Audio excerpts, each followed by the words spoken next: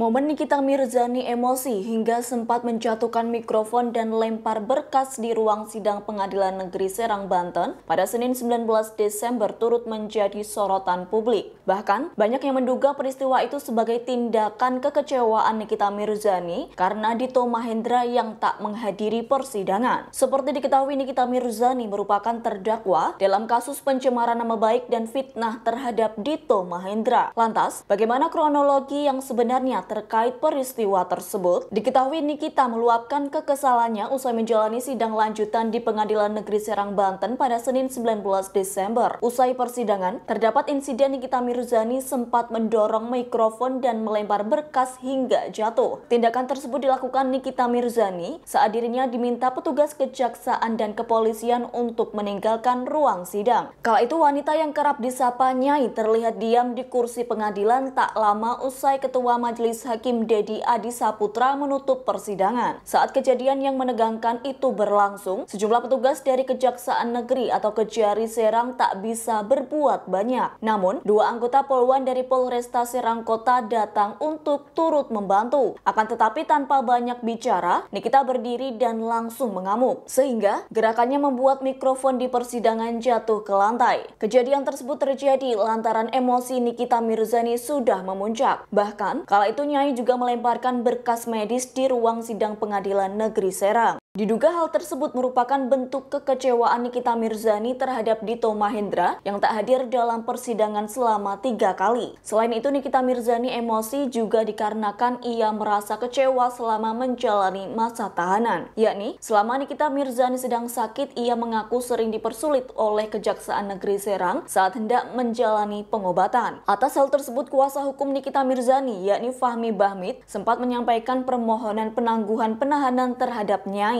namun, kala itu majelis hakim sidang menyatakan masih akan mempertimbangkan dan belum bisa mengabulkan permohonannya kala itu.